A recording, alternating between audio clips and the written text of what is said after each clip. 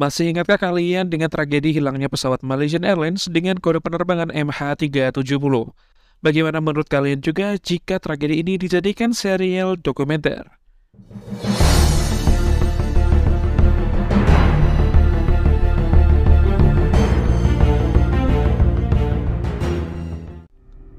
Oh hai guys, selamat pagi, selamat siang, selamat malam, selamat datang di Ruang Breakdown. Apa kabar kalian hari ini?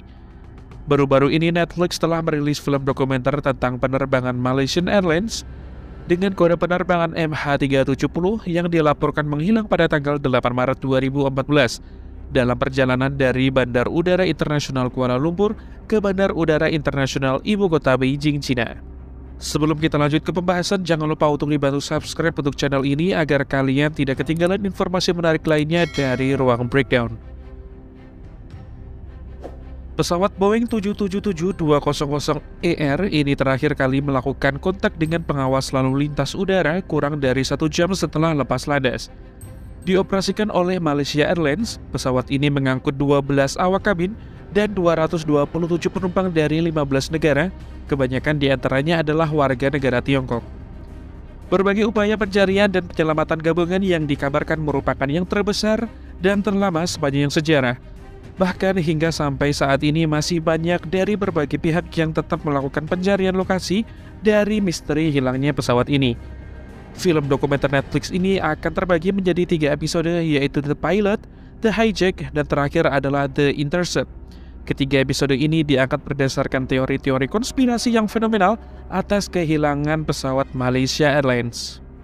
Malaysia Airlines penerbangan 370 seharusnya melakukan perjalanan rutin seperti biasanya, yaitu melakukan penerbangan malam dari Kuala Lumpur ke Beijing, mengangkut 239 penumpang dan kru pesawat. Namun tak lama setelah lepas landas pada malam yang tenang tahun 2014, MH370 menghilang dari layar radar selamanya.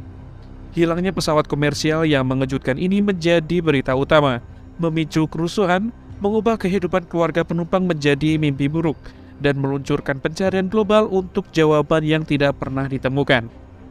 Berlatar di tujuh negara, serial dokumenter mencekam MH370 The Plane That Disappeared menggunakan materi arsip yang sulit untuk merekonstruksi malam menghilangnya pesawat.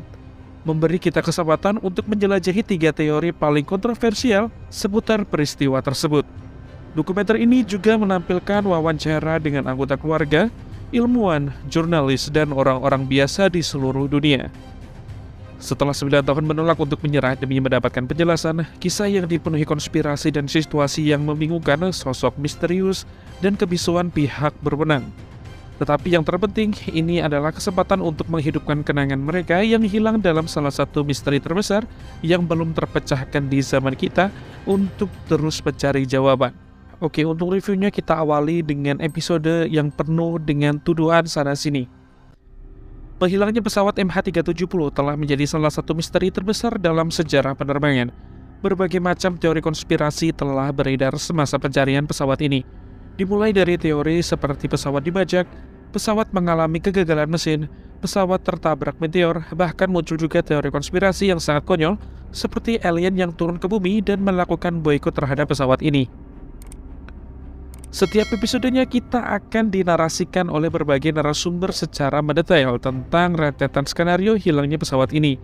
Pembawaan narasi yang dibalut dengan visual khas Netflix membuat penonton menjadi lebih lengkap dan detail tentang reka adegan misterius hilangnya pesawat MH370.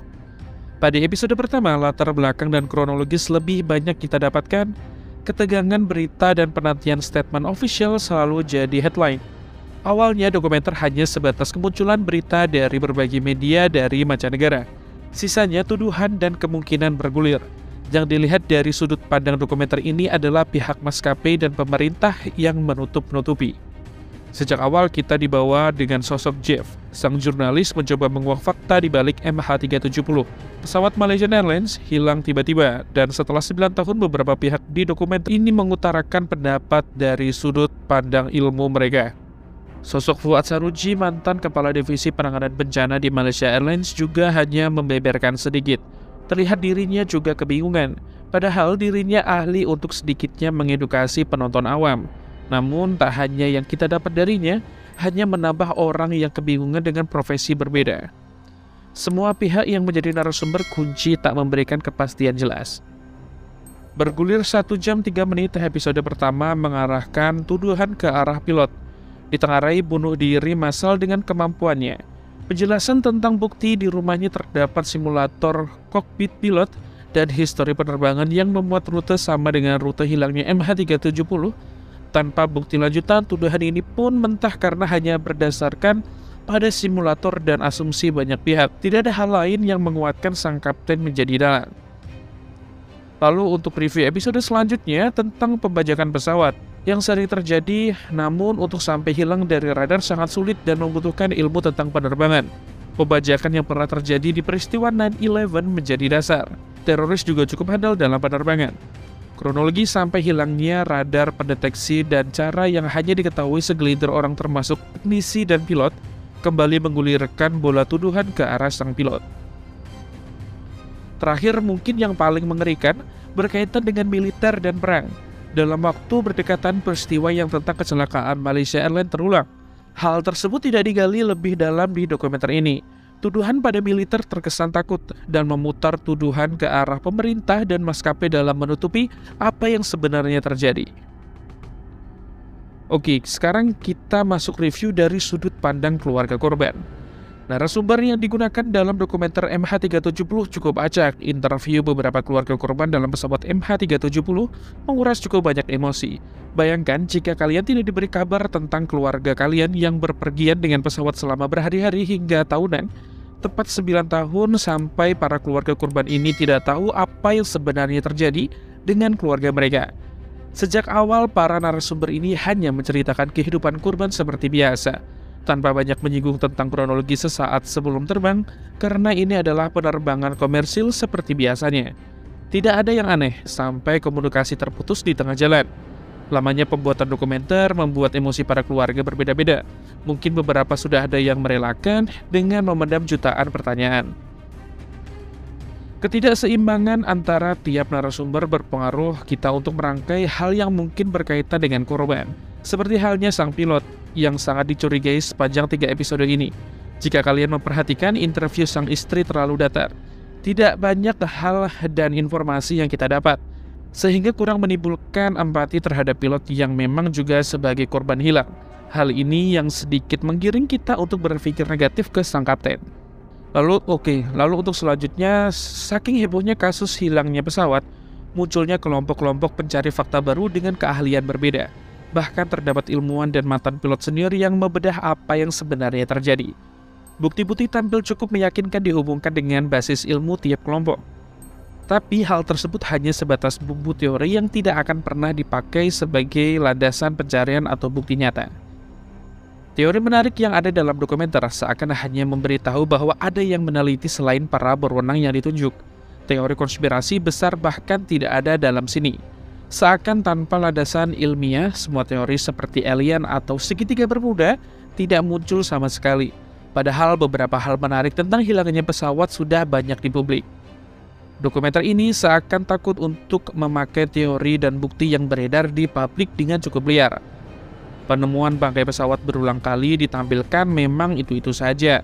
Dan sulitnya menguak fakta karena banyak informasi ofisial yang seharusnya dibuka untuk dihubungkan dengan penemuan kelompok-kelompok tersebut.